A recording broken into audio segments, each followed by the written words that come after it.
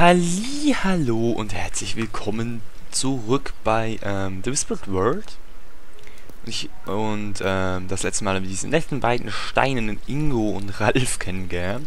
Und ich sagen uns, dass Shana hier in dieser Hütte in Anführungszeichen lebt. Ähm, mach. Und hier soll Shana wohnen? Wie soll denn das möglich In der sein? Tür. Hallo? Jemand zu Hause? Nichts. Natürlich nicht. Was habe ich auch erwartet? Ähm, weiß nicht, sie ist eine Hexe oder eine Seherin, also who knows.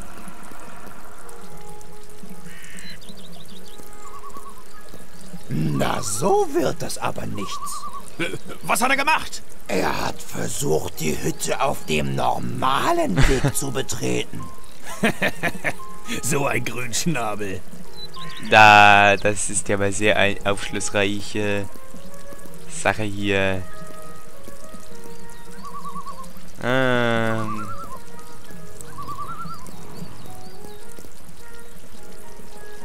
Verdammt! Ach, herrje. Hat er es wieder auf dem normalen lachen Weg versucht? schon wieder aus. Ja. Das glaube ich ja nicht. Wir werden vielleicht von allen ausgelacht. So ein Grünschnabel. Wie gemein. Ähm. So rum? Ah!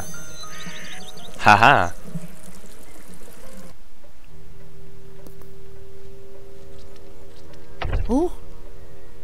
Wo bin ich denn jetzt Sieh dich, so gelandet? dämlich sind wir Wie nicht. ist das möglich? Shana? Hallo. Ist da wer? Zettel. Jede Menge Zettel. Was sind das bloß alles für Zettel? Tut mir leid, ich muss mich kurz bequemer hinsetzen. Ich gammle gerade so ein bisschen in dem Sessel rum, deswegen hört mir den vielleicht auch quietschen. Hier aufzuräumen wäre eine Lebensaufgabe. Und ich habe schon eine. Ja. Ein Sessel. Shana scheint nicht zu Hause zu sein. Dann, äh, keine Ahnung. Hallo? Shana? Hm. Keine Ahnung, setz dich hin. Ich mache lieber No. keinen Unfug mit Shanas Sessel. Am Ende orakelt sie mir noch die Blaupausen Ja, man an kann ja Hals. jemandem auch etwas anorakeln. Weil es so gut geht und so. Oh oh. Ist das vielleicht ein Rätsel?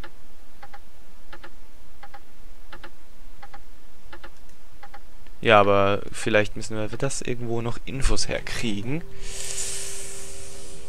Noch ein Zettel in Globus. Gucken wir mal an. Der Herbstwald ist auf dem Globus nicht einmal Hm, eingezeichnet. okay. Corona ist weit entfernt. Und, ähm... Ja. Die Welt und ich haben ein Kommunikationsproblem. sie hört mir nicht zu und ich verstehe sie einfach nicht. Das war ein guter Spruch. Nein, danke. Es fühlt sich auch No, so schon an, als würde ich die ganze Last der Welt auf meinen Schultern Hör auf tragen. zu weinen. Geht ja gar nicht. Ha.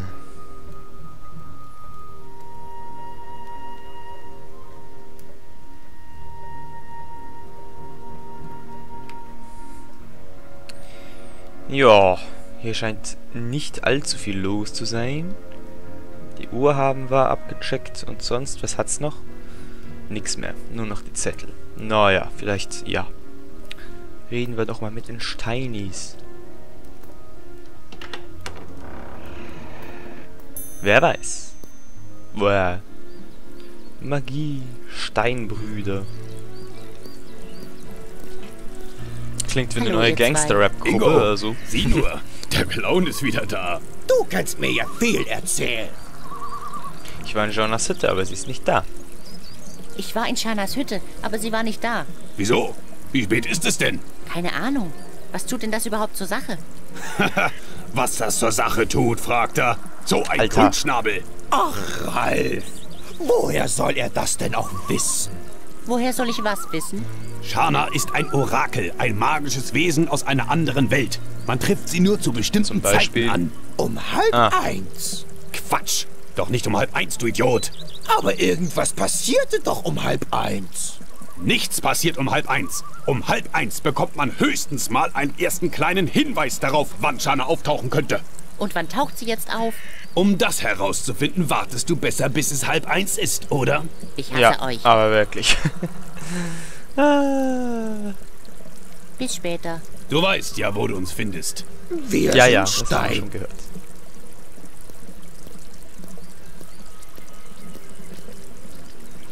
Müssen wir das jetzt jedes Mal es separat machen? Gib's auf. Ich habe ja gedacht, das würde es nach dem ersten Mal automatisch machen. Hallo. Nein, nein, nein, nein, nein, nein, nein, nein. Geh nach hinten. Alter, ist das nervig. So. Dann stellen wir die Uhr halt mal auf halb eins. Was haben wir jetzt? Ähm... Minutenzeiger. Hallo. Ja, das ist gut. Wo ist der Stundenzeiger? Ich sehe ihn gerade nicht. Nein, es ist okay so.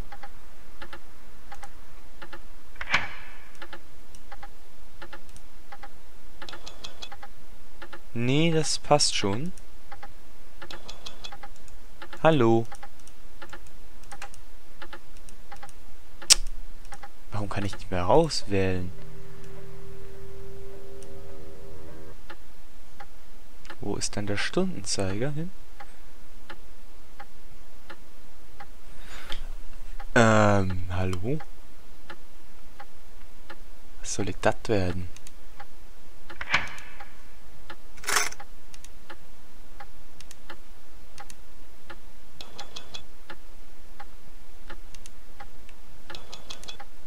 Halb eins. Aber ich hatte nur noch einen Minutenzeiger. Ach du Scheiße.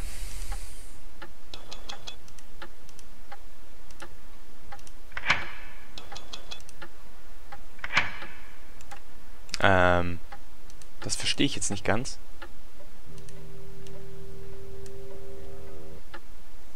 Zifferblatt, ja.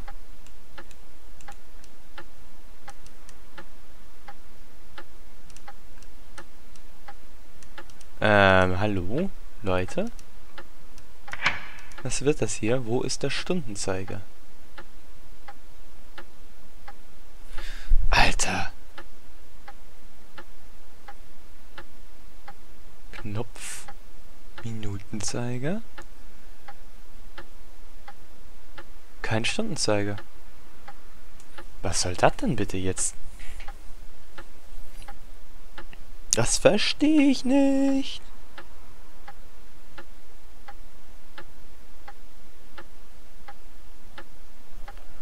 Alter.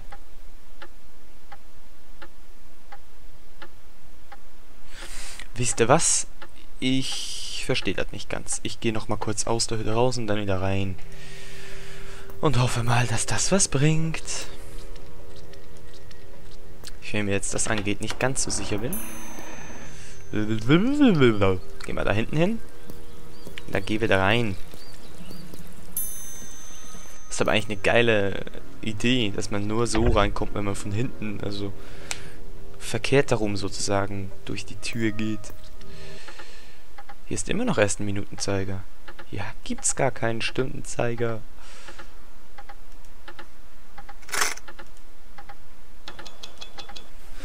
Aber mal ehrlich, ehr, ehrlich, mal ehrlich. Was soll das denn?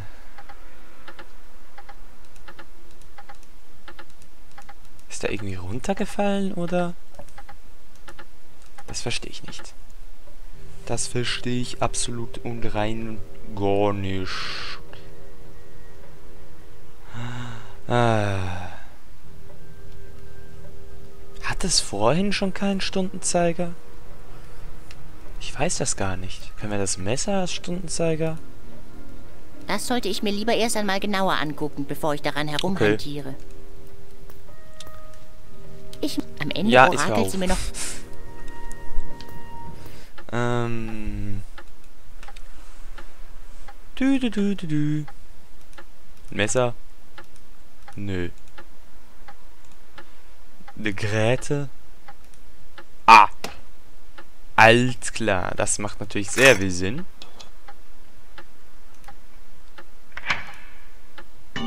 Wow! sterben.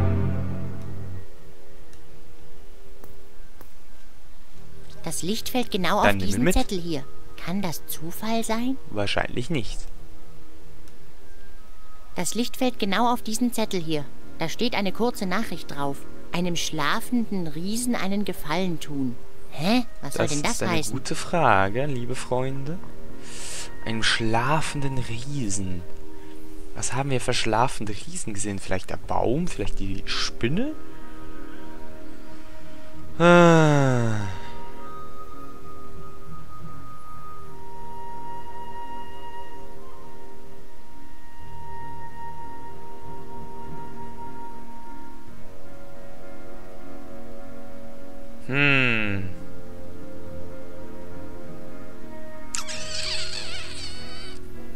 Ich jetzt ehrlich gesagt nicht. Ah, ah, ah, jetzt habe ich's kapiert. Jetzt habe ich's kapiert. Ähm, unser Zugtier, das schläft doch. Äh, ups. Stand da nicht irgendwas auf dem Zettel oder so? Bruno waschen, 12.15 Uhr. Könnte das... Jetzt ist ja 12.30 Uhr, dann stellen wir mal auf 12.15 Uhr.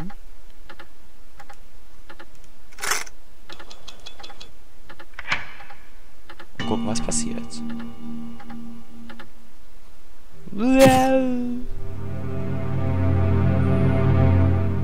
Noch ein Zettel. Jetzt scheint das Licht auf diesen Zettel hier. Da steht, die Farben kommen Ja, jetzt zurück ist es in die einfach. Welt.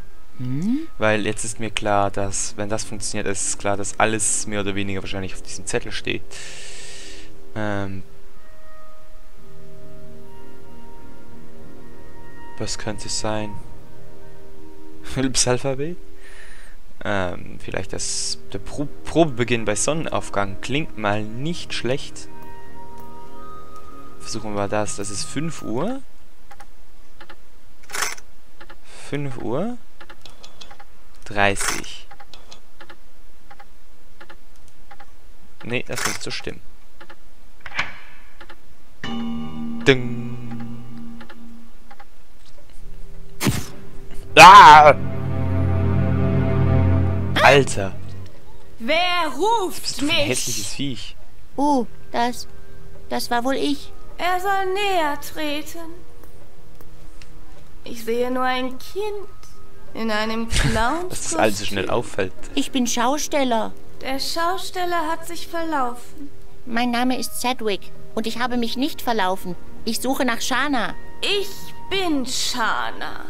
Ja, das habe ich mir schon irgendwie gedacht. Denken kann er also auch. Und trotzdem ist er hier, wo er nicht hingehört. Er darf vorerst sprechen. Was will er von Shana? Wer schickt ihn? Ähm. Ein Chusky namens Bobby schickt mich. Ein Chusky namens Bobby schickt mich. Der Clown redet Unsinn. Die Wege der Schaski sind gefährlich. Kein Schaski wäre so verantwortungslos, ein Nein, danke. unnützes Kind für seine Sache einzuspannen. Vielleicht bin ich ja nicht ganz so unnütz, wie ich aussehe. Er zweifelt an seiner eigenen Rede. Für wie nützlich hält er sich denn? Naja, es stimmt schon, dass ich häufig Dinge fallen lasse. Ich bin auch nicht so stark und sportlich wie mein Bruder. Genau genommen gibt es nichts, was er nicht besser könnte, aber Das reicht. Ich habe genug gehört. Wenn es diesen Schaski tatsächlich gibt, möchte ich persönlich mit ihm reden. Warum kommt er nicht selbst, sondern schickt ein unnützes Ähm. Kind? Schnauze? Ähm, er wurde von den Askil überfallen. er wurde von den Askil überfallen. Die Aski sind noch nie bis in den Herbstwald vorgedrungen. Steht es denn wirklich schon so schlecht um diese Welt? Das ist tatsächlich beunruhigende Kunde. Und nun? Kannst du Ich ihm nicht irgendwie helfen? Wenn er tatsächlich ein Chasky ist, dann kann er sich selbst helfen. Ich finde, dass die Stimme überhaupt nicht zum Model passt bei ihr. Tut mir leid, jetzt bin ich schon wieder ans Mikro gekommen, aber ihre Stimme passt überhaupt nicht zu der Zeichnung. Finde Er ich hat jetzt. mir erzählt, dass du Träume sieht seltsam deutest. aus. Der Chasky hat ihm eine wichtige Information vorenthalten. Shana deutet Träume für wichtige Personen, nicht für Ja, Clowns. aber meine Träume haben etwas zu bedeuten. Aber meine Träume haben etwas zu bedeuten. Es ist nicht an ihm, das zu entscheiden. Na gut, dann sag du mir doch einfach, ob sie etwas zu bedeuten haben oder nicht. Ich meine, du bist doch die Expertin. Ich bin ein Orakel. Ich sehe Dinge, bevor sie passiert sind. Dass ich einen Clown tröste, der schlecht geschlafen hat? Sehe ich nicht. Alter, ist alles so unfreundlich zu uns. Ich bin nicht als Clown hier. Ich helfe Bobby bei seiner Mission. Er hat mir sogar den Flüsterstein anvertraut. Was sagt er da? Der Flüsterstein ist hier im Herbstwald? Er soll ihn zeigen. Nun, ich habe ihn nicht direkt parat. Unglückseliger Tollpatsch. Der Flüsterstein ist ein äußerst wichtiges und mächtiges Objekt. Er muss auf der Stelle zurück zum Palast gebracht werden. Ähm, was passiert, wenn der Flüsterstein nicht nach Corona gebracht wird? Was passiert denn, wenn der Flüsterstein nicht nach Corona gebracht wird? Der Flüsterstein ist ein mächtiges Objekt. Das sagtest du bereits. Solange der Stein nicht an seinem Platz im königlichen Palast ist, ist das Gleichgewicht der Welt außer Kraft. Diese Welt wird zugrunde gehen. Wie in meinem Traum. Der Clown hat vom Ende der Welt geträumt? Yep. Dann war es kein Traum, sondern eine Vision. Das, das versuche ich dir doch schon die ganze Zeit zu sagen. Nur sehr wenige Menschen können das Ende im Traum sehen. Ich muss mehr darüber wissen. Ich spüre, dass sich in diesem Traum eine mächtige Prophezeiung verbirgt. Dann wirst du mir also sagen, was er zu bedeuten hat? Ja? Ja, aber es wird ihm nicht gefallen. Ist das schon Teil der Prophezeiung? Mit übernatürlichen Kräften herumzuspielen ist keine Zirkusnummer. Er wird Dinge hören, die nie für menschliche Ohren bestimmt waren. Ich höre jede Nacht Bens schnarchen. Mich kann nichts mehr schocken. Der Clown glaubt, ihn könne nichts mehr erschüttern. Er ist ein Narr. Was hat mich verraten? Bommeln? Er nimmt es nicht ernst. Es könnte ein Fehler sein, ihm sein Schicksal zu offenbaren. Nein, nein, ich bin ja schon ganz ruhig. Es tut mir leid. Ich bin nur aufgeregt. Bitte rede weiter. Also gut. Er soll mir seinen Traum in allen Einzelheiten berichten. Naja, da ist erst einmal diese Felsenlandschaft. Alles ist zerstört. Ich laufe so schnell ich kann, denn die Felsen geben unter meinen Füßen nach. Da bemerke ich plötzlich ein blaues Licht und... Ähm, hallo? Shana?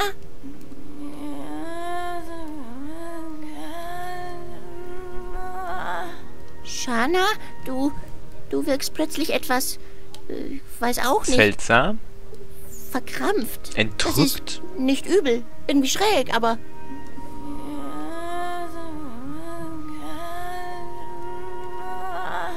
okay, genug davon. Das wird jetzt schon ein wenig unheimlich.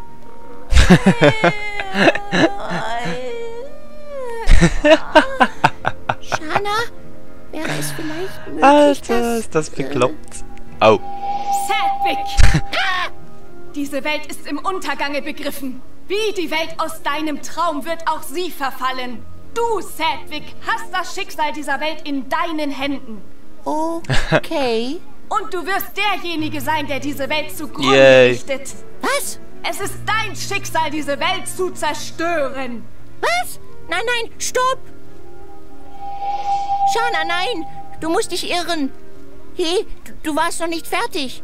Ich soll die Welt doch bestimmt äh, retten. Oder wie? Das war eine mächtige Vision. Was habe ich erzählt, als ich Ähm. groß war? Ja, das sollten wir noch mal besprechen. Vielleicht später? Der Clown muss mir erzählen, was ich ihm prophezeit habe. Ja, ist ja schon gut. Irgendwann muss es wohl raus. Du hast mir gesagt, ich würde die Welt zerstören. Okay. Du hast mir gesagt, ich würde die Welt.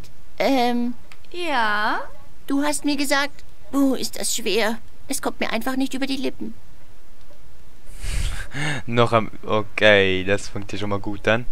Du hast mir gesagt, ich würde die Welt. Ah, was hat der Clown?